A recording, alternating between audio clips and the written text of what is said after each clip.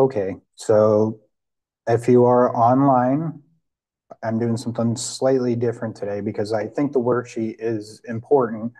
And so I want you mm-hmm. guys to take a look at the worksheet first. So just above videos, you click on the handout for chapter 19. It'll give you what we're working on.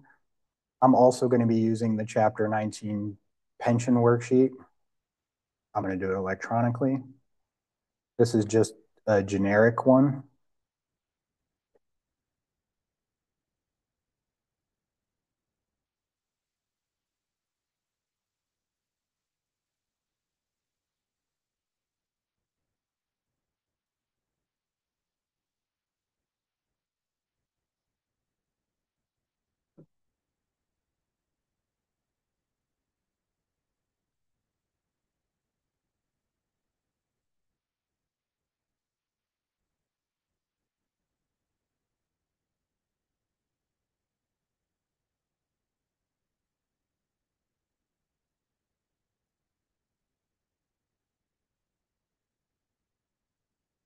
It's a little bigger.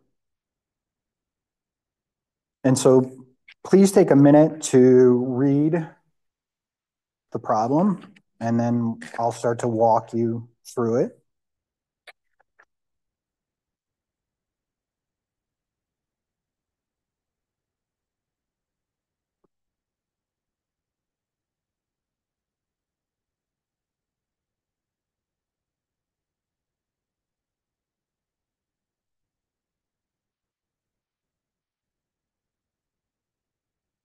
So Abigail, if, or Abby, I apologize. Um, we're on this worksheet.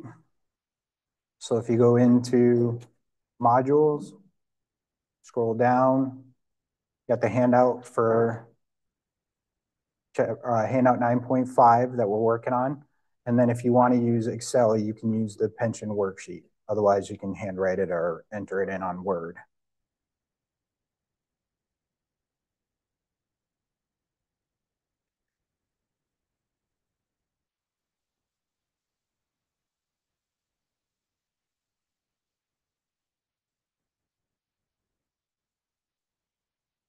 Okay, ready to go? All right. So I'm doing this a little bit different. Rather than talking about the content of what's going on in the chapter, I wanted to show you how to use the worksheet, how I use the worksheet, and I think it will help you with complicated problems. I've given you guys handouts so you guys can use them right on them at home. If you prefer electronics, there are you can access these easily. And I think they make it easier to do these types of questions and keep yourself organized.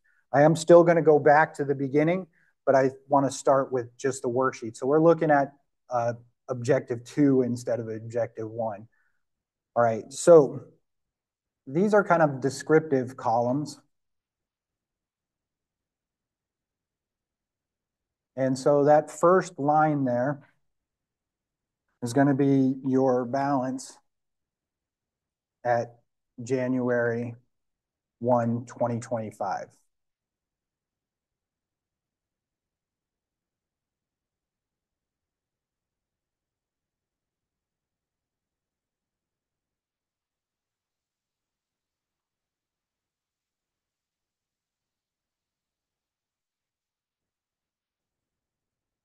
Okay, and so we're going to enter in our balances and it tells you that we have a projected benefit obligation. So that's a liability of 2.8 million and the fair value of plan assets at 2.4 million. So there's a couple ways you can do this sheet. If you'll notice, I put the debits and credits aside.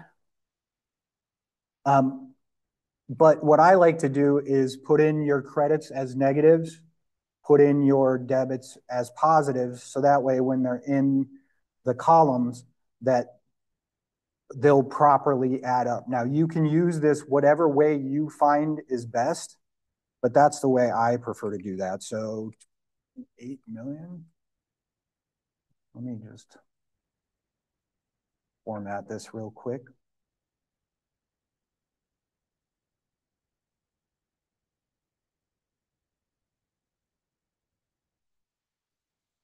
And then commas.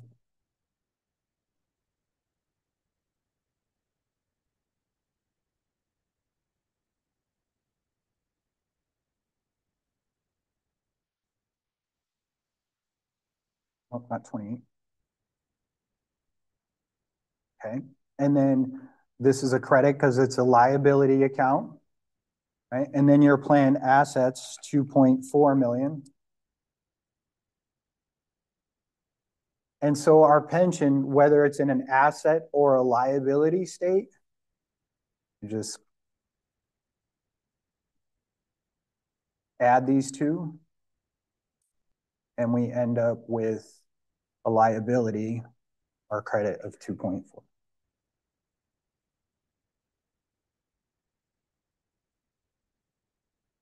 Okay, so across that top line, pension liability, pension obligation, and plan assets. Okay, everybody see where I got that from? For those of you that are online, that comes from these two here.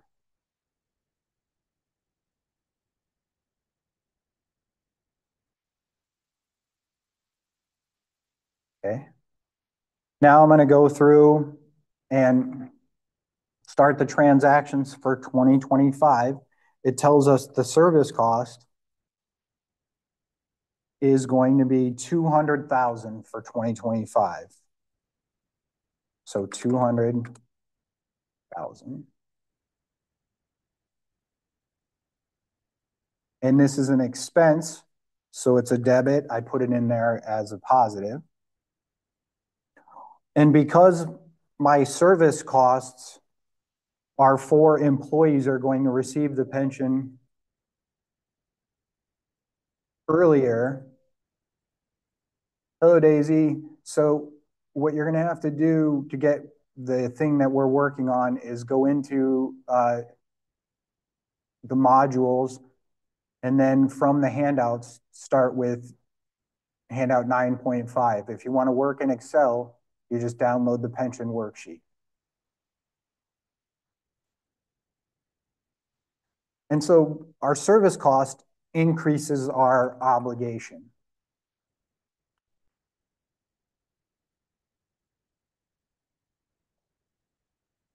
So that's our credit there.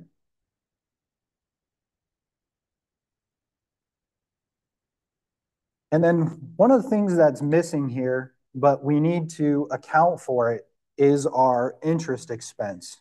So interest expense on pension benefit obligation.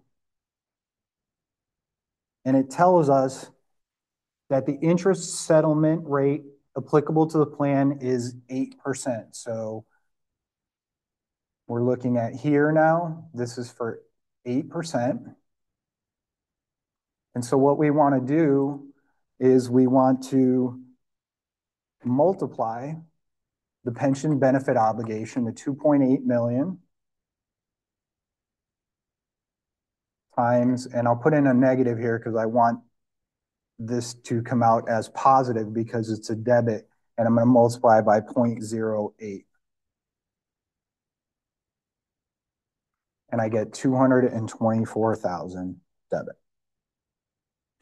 Now this is our interest expense, so it's also going to add to our obligation. And that's a credit.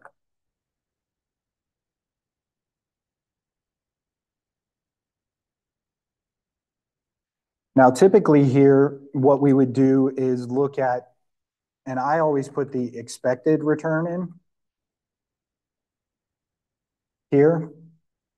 And so if I take the expected return, I want to take the plan assets, and it tells us that the expected rate of return on assets is 6%. So I'm going to multiply that by 0.06. And this is going to be a credit.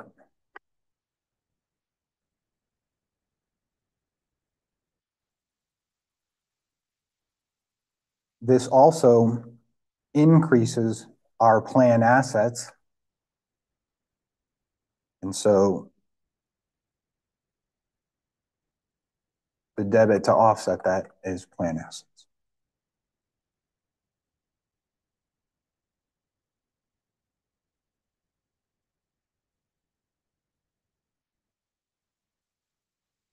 The four hundred thousand that you have in.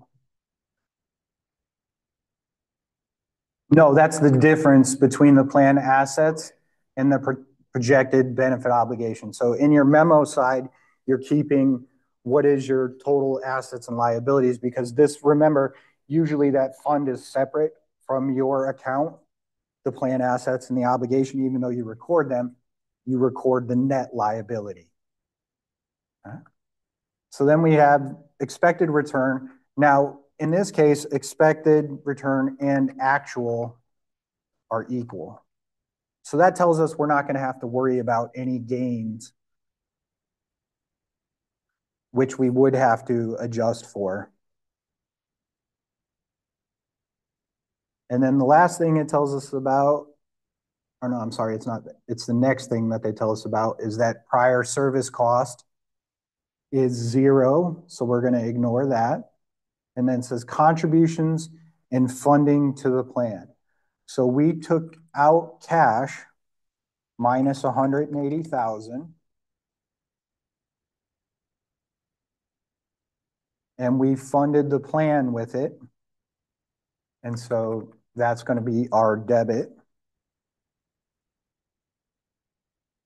to our credit.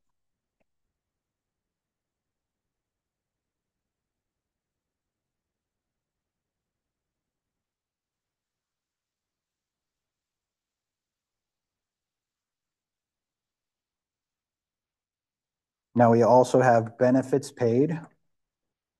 And this is going to be from the plan. So we're not going to make an entry here to our cash.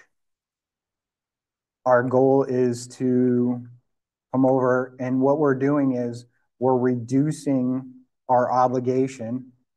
So we had 149,000 and that's a debit but we're using up our plan assets for it. And so the credit reduces our plan assets.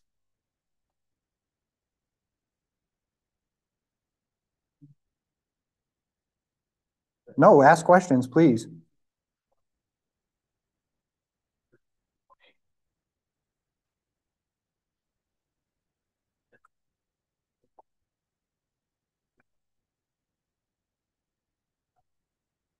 No, because you're not trying to make them balance here. No, we're not, we're not making this balance.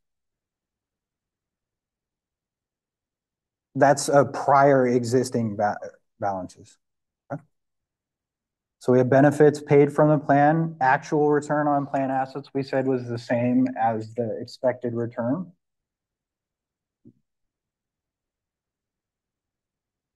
Contribution. And so here we are at the end. And so we can calculate our journal entry. And what we do is we sum up our transactions.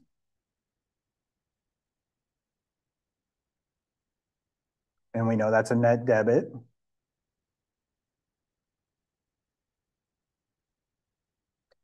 Here we know that's a credit.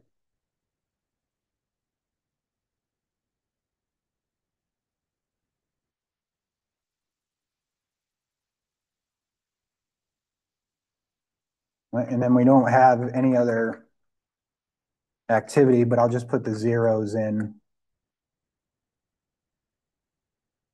But I'm not going to put anything in in pension asset or liability yet because we want to make sure that has changed. And so what we look at is our ending balance.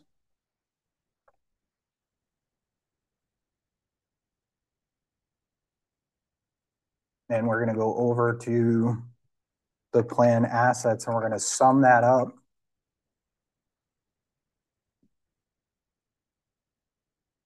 And that's a credit of $3,075,000. And then we have a debit of two million five seventy-five. So the difference here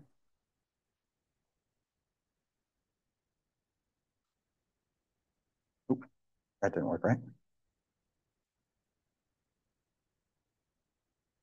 The difference here, five thousand now, tells us what we have to make for the journal entry for the pension liability. So we take the end balance, we subtract the beginning balance, and we know that we have to make a credit. No, sorry, this is credit too.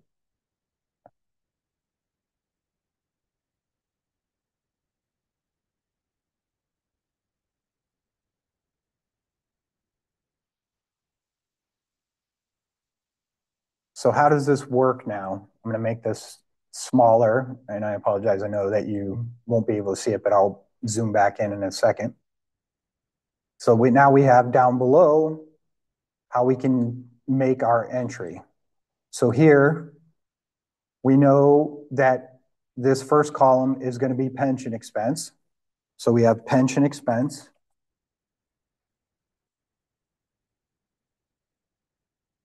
And I like to just pull the numbers in case I have to go back and make any changes. And then I have two credits left on that. And the first one would be cash.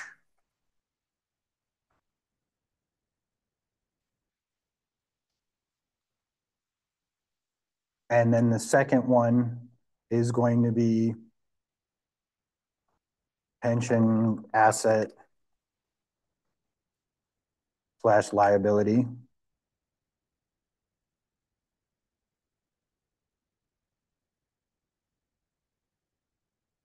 And that is the hundred thousand.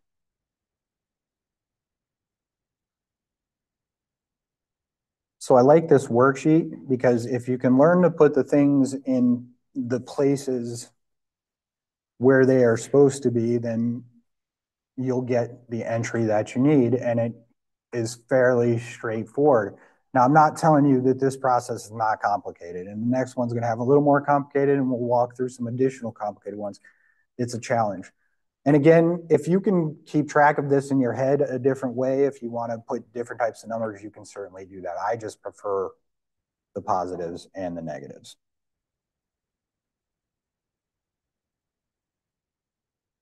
Any questions?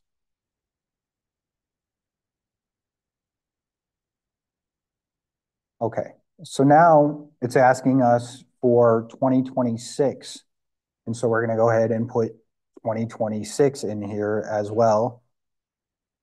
And so we have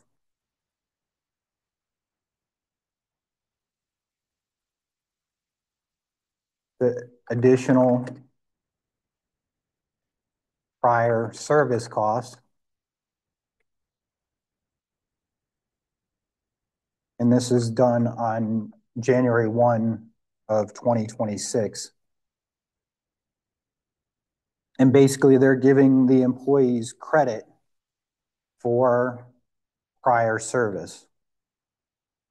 And so this is going to feed into increasing our pension expense. And so 300,000 and that's going to be a debit. The credit is going to increase our pension benefit obligation.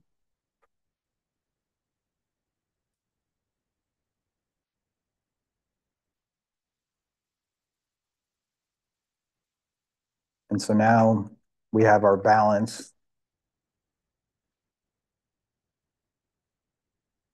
at one one dot twenty twenty six.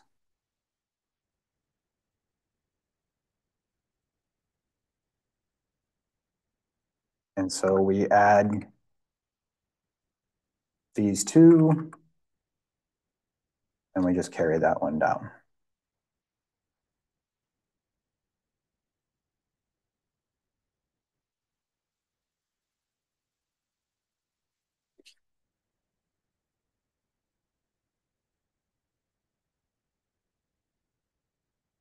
Okay, so we've taken care of the first part that we have. And now we just have to go through our expenses. So we're going to go ahead and go with service costs. Or cost, they call it. And this year it's 225,000. That's going to be a debit, but we know it's going to increase our liability. So it's a credit there.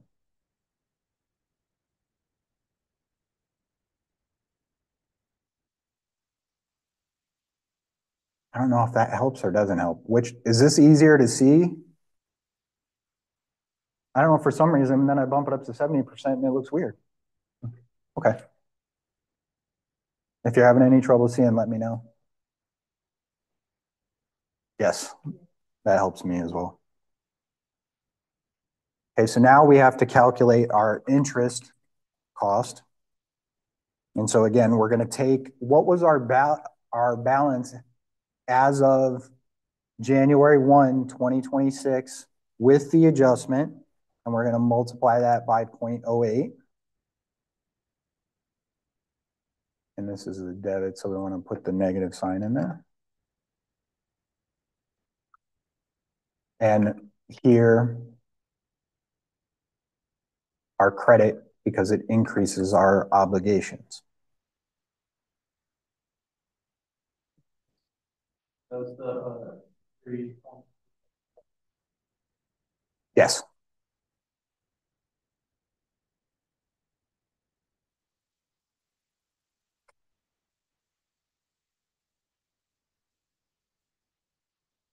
Now here, we're going to end up having an actual return that's different from expected. And so our actual return here is 190,000. So it's a credit.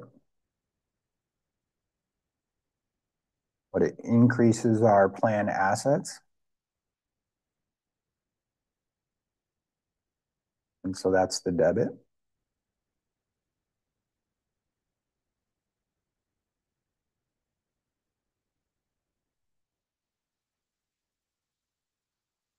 Now our expected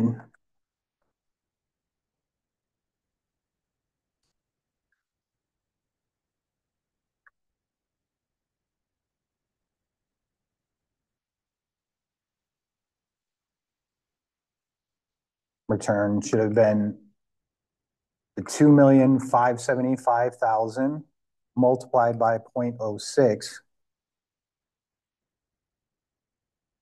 And so our actual return was greater. And so what we have to do now is adjust for that.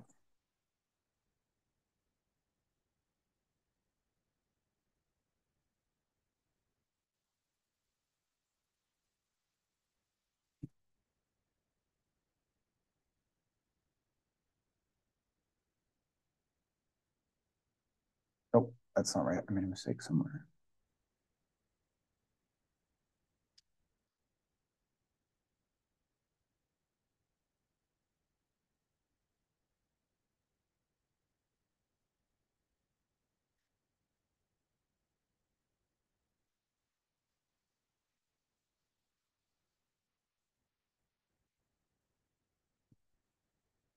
And so we want that to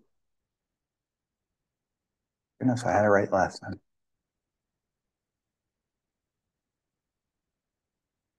Thirty-five thousand five hundred is the debit.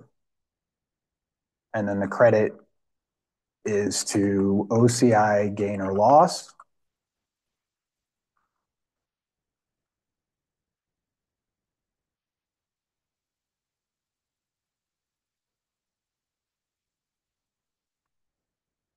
And then you have amortization of prior service cost.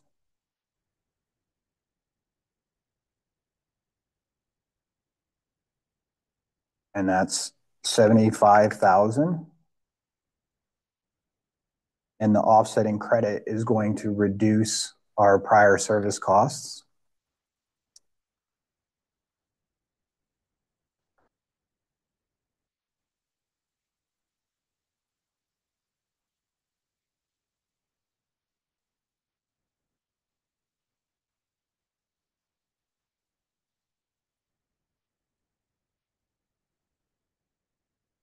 And we have contributions.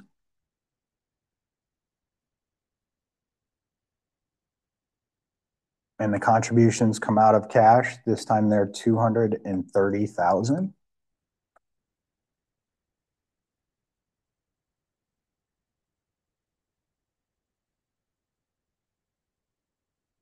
And the debit increases our plan assets.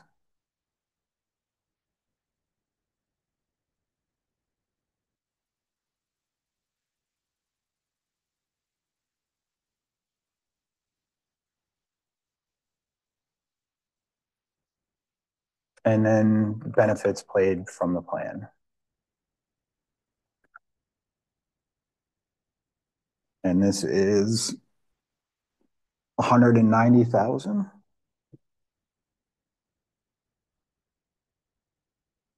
Oh, not there. Sorry. Here, $190,000 because it reduces our obligation. And then it also reduces our assets. So this is a debit, this is a credit.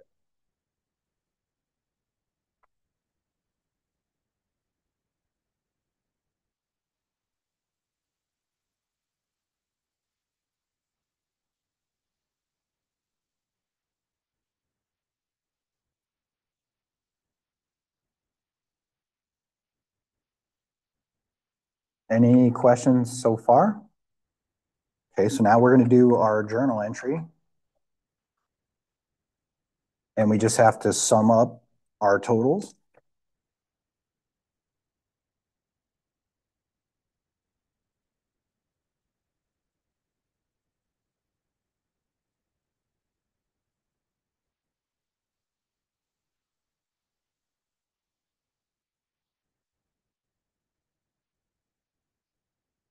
And then we have to calculate our ending balances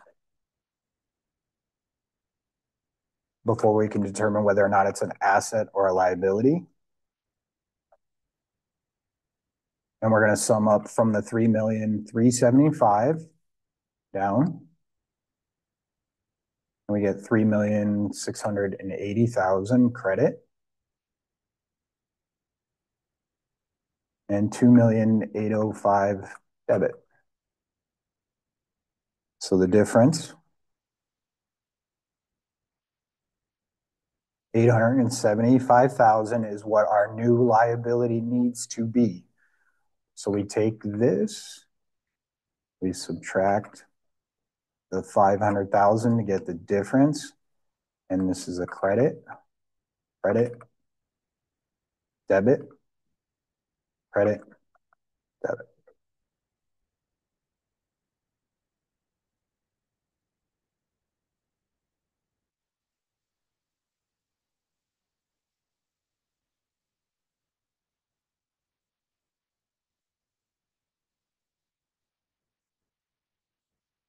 So for 2026, we have our pension expense.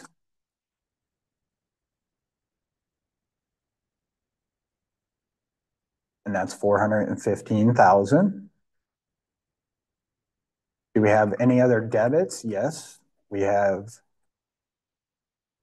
other comprehensive income. And this is due to prior service costs. And that's 75,000. Oh, no, that's not right. Sorry, we had to do the net 225,000 because we did not make an entry initially for the 300,000. And so what we do is net it out. So 225,000. And then we have credits. So cash is our first one.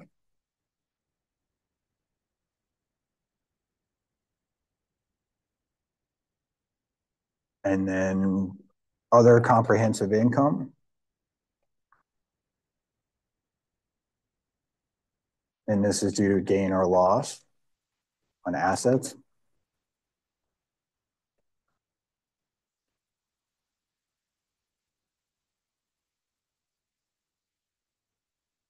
And so that's the 35,000. And then the last one would be pension asset or liability.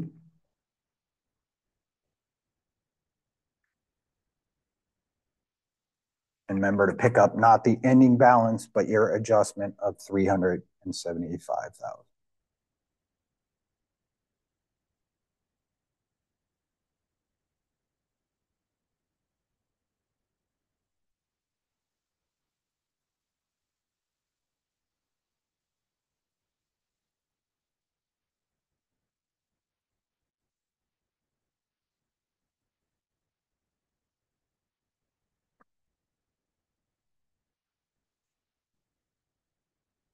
How do we feel about the worksheet? Did I give a slow enough explanation?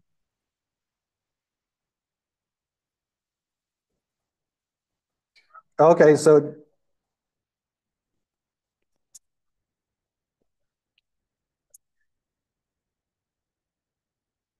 no problem. I'll give you guys like a three minute break, catch up. Make sure that everything's in there. If you have any questions, please ask me. Drop my microphone.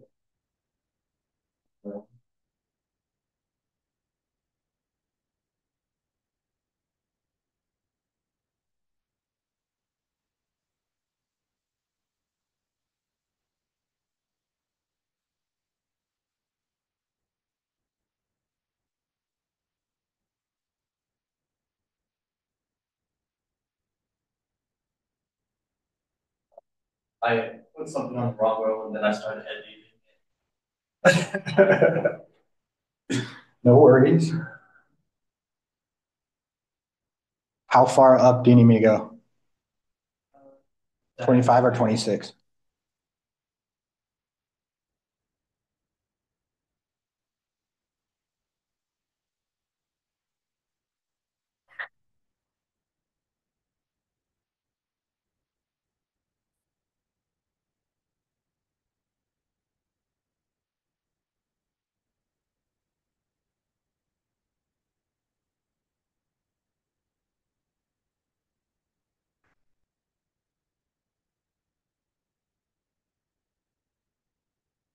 Okay, we good here?